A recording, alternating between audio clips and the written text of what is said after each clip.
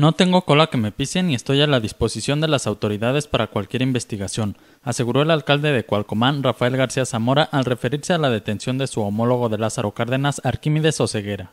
Yo no tengo cola que me pisen y yo a la hora que gusten y quieran estamos a sus órdenes. Pero para los compañeros, todo mi respeto eh, como compañeros y, si hay algo que, pues, por cuestiones de, delincuencia ellos se hayan prestado, bueno, pues ya la ley decidirá qué, qué tendrá que ser hizo un llamado al gobierno federal para que sustente bien las investigaciones de funcionarios que sean detenidos y que se averigüe a quien sea responsable.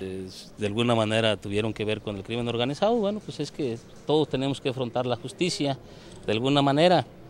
Eh, pero sí, yo creo que la ley también debe ser muy clara, muy justa, o sea, no, no debe llevarse por, por dichos, yo creo que debe haber las pruebas necesarias, porque originalmente son compañeros.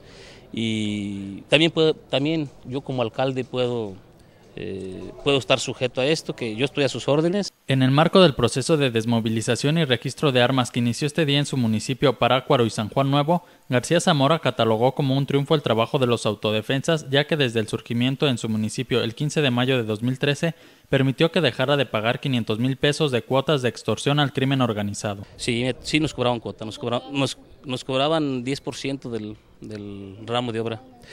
Mira, entre obra convenida, entre obra convenida y este el ramo de obra y entre el otro estaban por cobrarnos también lo que es eh, algún gasto de nómina, o sea, algún algunos eh, infiltrados que iban a meter en nómina, que finalmente no fue.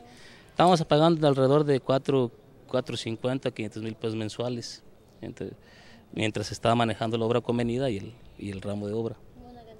Sí. Y bueno, y no era opcional pagar, es que se tenía que pagar. ¿Desde cuándo más están pagando? No, pues ya desde el 15 de, desde el 15 de mayo que surgió este movimiento, pues se acabaron todo tipo de, de extorsiones. Rafael Zamora dijo que los 36 elementos de la Policía Municipal que fueron capacitados en Tlaxcala ya están listos para incorporarse a las filas de la corporación. Cuatro más fueron desterrados por la población por estar coludidos con el crimen organizado. Con información de Sandra Sáenz Informa, Cuasar TV.